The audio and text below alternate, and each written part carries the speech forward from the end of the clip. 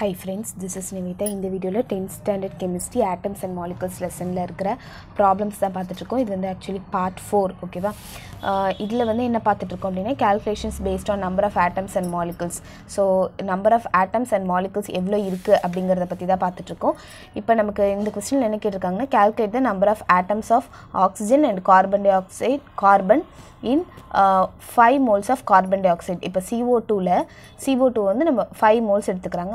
அதில் வந்து எவ்வளோ number of atoms of oxygen இருக்கும் எவ்வளோ number of atoms of carbon இருக்கும் அப்படிங்கிறத நம்ம கேட்குறாங்க ஓகேவா ஸோ அப்போ நம்ம எப்படி முதல்ல ப்ரொசீட் பண்ணுறது அப்படின்னு பார்த்தீங்கன்னா ஒன் மோல் ஆஃப் இப்போ வந்து கார்பன் டை ஆக்சைடு சி ஓட்டுன்னு கொடுத்துட்டாங்கன்னா அதுக்கு முன்னாடி என்ன இருக்கும்? ஒன் அப்படிங்கிறதுன்னு இருக்கும். ஸோ இப்போ ஒன் மோல் ஆஃப் கார்பன் டை ஆக்சைடில் எனக்கு டூ மோல் ஆஃப் ஆக்சிஜன் இருக்குது கரெக்டாக ஒன் மோல் ஆஃப் கார்பன் டை ஆக்சைடில் எனக்கு டூ மோல்ஸ் ஆஃப் ஆக்சிஜன் இருக்குது அப்போ ஒருவேளை எனக்கு நான் five mole of carbon dioxide எடுத்துக்கிட்டேன்னு எனக்கு என்ன ஆகும்? இங்கே ஃபைவ் இன்ட்டு டூ எவ்வளோ? டென் மோல்ஸ் ஆஃப் ஆக்சிஜன் எனக்கு கிடைக்கும். கரெக்டாக ஒன் மோல் ஆஃப் கார்பன் டை ஆக்சைடில் டூ மோல் ஆஃப் ஆக்சிஜன் இருக்குது அப்போ ஃபைவ் மோல் ஆஃப் கார்பன் டை ஆக்சைடில் எனக்கு டென் மோல் ஆஃப் ஆக்சிஜன் அப்படிங்கிறது இருக்கும். இப்போ நான் வந்து number of atoms of oxygen ஆக்சிஜனோட number of atoms தானே கண்டுபிடிக்கணும்? அதோட ஃபார்முலா என்ன number of moles of oxygen into Avogadro number இது எப்படி வருது? நம்ம ஏற்கனவே ஒரு மெத்தட் படிச்சிருக்கோம். என்னென்னா ஒன் மோல் ஒன் மோலில் எனக்கு எவ்வளோ ஆட்டம்ஸ் இருக்கும் six point zero two three into twenty power of twenty three atoms இருக்கும் அப்போ எனக்கு இங்கே இருக்கிறது என்னது? டென் மோல்ஸ் ஆஃப் ஆக்சிஜன் இருக்குது அப்போ டென் மோல்ஸில் வந்து எனக்கு எவ்வளோ இருக்கும் அப்படிங்கிறத நான் கண்டுபிடிக்கணும். ஓகேவா ஸோ இதை நான் அப்படியே வந்து மேத் மேக்ஸ் படி எழுதுனா one divided by ten equal to six point zero two three into twenty the power of twenty three divided by எக்ஸ்னு வரும். ஸோ அப்படியே ரெசிப்ரோகேட் எடுத்தேன்னா ten is equal to x divided by six point zero two three into twenty power of twenty three so இது இந்த side கொண்டு வந்துட்டேன்னா ten into six point zero two three into ten to the power of twenty three is equal to x அப்படின்னு வருமா? So இப்போ இது ரெண்டுத்தையும் multiply பண்ணிங்கன்னா டென்னு இங்கே ten to the power of twenty three இருக்குது அப்படின்னா six point zero two three into ten to the power of twenty four அப்படின்னு போட்டுடலாம். இது வந்து பவர் ஒன்று so twenty three plus one வந்து twenty four equal to x அப்படின்னு ஆகிடுமா ஸோ எக்ஸ் அப்படிங்கிறது என்னது? நான் கண்டுபிடிக்க வேண்டிய number of atoms okay so இங்கே வந்து பாத் பார்த்தீங்கன்னா ஸோ இவ்வளோ நம் இவ்வளோ ஆட்டம்ஸ் ஆஃப் ஆக்சிஜன் இருக்குது ஓகேவா அப்படிங்கிறது எனக்கு தெரிஞ்சிருது. ஸோ இப்போ இந்த ஃபார்முலாவை நான் எப்படி ஞாபகம் வச்சுக்கலாம் அப்படின்னு பார்த்தீங்கன்னா இப்போ வந்து எனக்கு வந்து இங்கே வந்து எக்ஸ் இருக்குது எக்ஸ் தான் என்னது? Number of atoms of oxygen நான் கண்டுபிடிக்க வேண்டியது. இந்த டென் இந்த டென் அப்படிங்கிறது என்னது? இங்கே கொடுத்துருக்க அந்த number of moles of oxygen இவ்வளோ இருக்குது இப்போ number of moles of oxygen into அதுக்கப்புறம் இங்கே என்ன இருக்குது அவகட்ர நம்பர் சிம்பிள் அப்போ அவகட்ர நம்பர் எல்லாத்துக்குமே இந்த ஒரு கான்செப்ட் மட்டும் ஞாபகம் வச்சுக்கோங்க. உங்களுக்கு கொஸ்டினில் என்ன கொடுத்துருக்காங்க? Five moles of carbon dioxide contains ten moles of oxygen அப்படிங்கிற மாதிரி கொடுத்துருந்தாங்க. இப்போ ஒரு மோல் சம்மந்தப்பட்டிருக்கு. மோல் சம்மந்தப்பட்டிருக்கனாலே அவகட்ட நம்பர் வரும். ஸோ இப்போ ஒன் மோலில் இவ்வளோ இருக்குன்னா டென் மோலில் இவ்வளோ இருக்கும். சிம்பிள் அதுபடி போட்டு நீங்கள் இதிலிருந்து கூட அந்த ஃபார்முலாவை எடுத்துகிட்டு வந்து டேரெக்டாக போடும்போது நீங்கள் இந்த மாதிரி போட்டுக்கலாம். ஓகேவா அடுத்தது வந்து நம்ம கார்பனுக்கு கண்டுபிடிக்க போகிறோம் அதே மாதிரி தான். ஒன் மோல் ஆஃப் கார்பன் டை ஆக்சைடில் எனக்கு ஒன் கார்பன் இருக்குது ஒன் மோல் ஆஃப் கார்பன் இருக்குது இப்போ ஃபைவ் மோல்ஸ் ஆஃப் கார்பன் டை ஆக்சைடில் எனக்கு ஃபைவ் கார்பன் தானே இருக்கும். ஃபைவ் மோல்ஸ் ஆஃப் கார்பன் தானே இருக்கும்.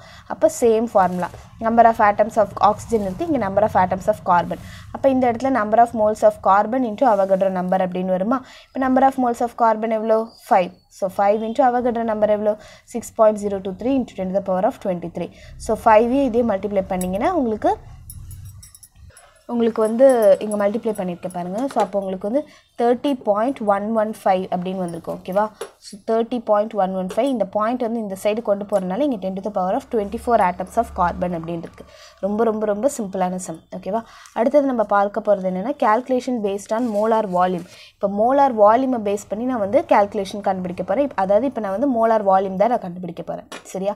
அப்போ calculate the volume occupied by எனக்கு கார்பன் டை ஆக்சைடு அப்படிங்கிறது என்னது? Gas so two point five mole of carbon dioxide வந்து ஸ்டாண்டர்ட் டெம்பரேச்சர் அண்ட் ப்ரெஷரில் இருக்குது அப்போ அதில் அது வந்து எவ்வளோ வால்யூமாக ஆக்குப்பை பண்ணியிருக்கு கேன் யூ அண்டர்ஸ்டாண்ட் இப்போ இந்த ஒரு பலூன் மாதிரி எடுத்துக்கலாம் ஓகேவா இந்த பலூனுக்குள்ளே two point five mole of carbon dioxide இருக்குது அப்போ அவங்க என்ன கேட்குறாங்கன்னா இது வந்து அப்போ எவ்வளோ வால்யூமை வந்து ஆக்குப்பை பண்ணியிருக்கோம் அப்படிங்கிறத நமக்கு கேட்குறாங்க ஸோ அப்போ நம்ம அதுக்கு நம்ம எப்படி ப்ரொசீட் பண்ணுறது அப்படின்னா முதல்ல இந்த ஸ்டாண்டர்ட் டெம்பரேச்சர் அண்ட் ப்ரெஷர் இந்த டாபிக் எல்லாமே வந்துட்டாலே இந்த ஃபார்முலா தான் யூஸ் பண்ணுவோம் கரெக்டாக number of moles of carbon dioxide is equal to given volume at STP divided by molar volume at STP அப்படின்னு சொல்கிறது இந்த ஃபார்மேட் எப்படி வருது அப்படின்னா நார்மலாகவே நம்ம வந்து முன்னாடி வீடியோஸ்லேயே படிச்சிருப்போம். என்னென்னா இப்போ இது வந்து இந்த இந்த இடத்துல வந்து twenty two point four litres அப்படின்னு வச்சுக்கோங்க ஓகேவா எல்லா கேஸுமே இதுக்குள்ளே அப்போ எவ்வளோ கேஸ் இருக்கும் அப்படின்னு கேட்டிங்கன்னா one mole of gas can you understand இது வந்து ஒரு ஃபிக்ஸ்டு வேல்யூ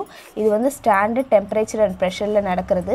என்னென்னா இந்த வால்யூம் வந்து twenty two point four litres அப்படின்னு எடுத்துக்கிட்டேன் அப்படின்னா டுவெண்ட்டி டூ பாயிண்ட் ஃபோர் லிட்டர்ஸில் எனக்கு எவ்வளவு மோல் ஆஃப் கேஸ் இருக்கும் அப்படின்னா ஒன் மோல் ஆஃப் கேஸ் இருக்கும். அப்போனா இப்போ இந்த வால்யூம் அந்த கான்செப்டில் பேஸ் பண்ணி வருதுல்ல ஸோ இது வந்து வால்யூமை பேஸ் பண்ணி தான் எடுத்துக்கிறாங்க ஸோ அப்போ ஒன் மோல் ஆஃப் கேஸ்க்கு எனக்கு twenty two point four litres தேவை.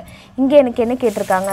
டூ பாயிண்ட் ஃபைவ் மோ two point five mole of carbon dioxide கொடுத்துருக்காங்கல்ல அப்போ டூ பாயிண்ட் ஃபைவ் மோலுக்கு எனக்கு எவ்வளோ இடம் தேவை அப்படிங்கிறதா? ஓகே ஸோ இப்போ one divided by two point five is equal to twenty two point four divided by x அப்படின்னு எடுத்துக்கலாமா?